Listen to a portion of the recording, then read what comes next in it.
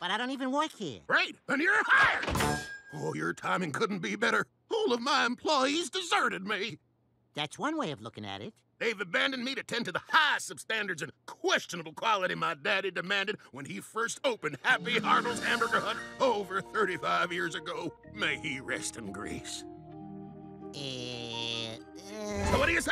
Do you have what it takes to serve at the Hamburger Hut? oh, I'll make sure you get served. Oh, that makes Happy very happy. You're really saving my buns. First, you'll need a uniform. Here's your vest. Are you familiar with Happy Hartle's Hamburger Hut, where we make fast food fast? That's right. I'm Happy, son of Harry. I was raised on the Hamburger Hut. You don't say. Here's your hat. This place is dedicated to the standards set by my daddy, Harry Hartle. You don't want to let daddy down. This guy has some serious issues. Just remember to welcome the guests, be polite, take their order, upsell if you can, make correct change, give them their items, and end with our signature send-off where we make fast food fast. Oh, and I almost forgot the most important part of your uniform. A smile.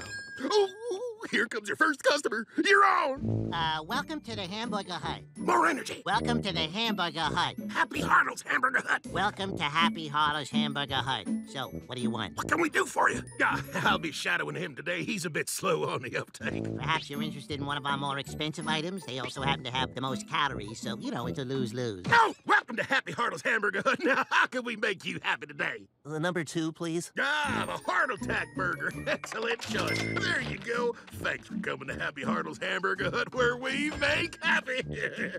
now that's how it's done.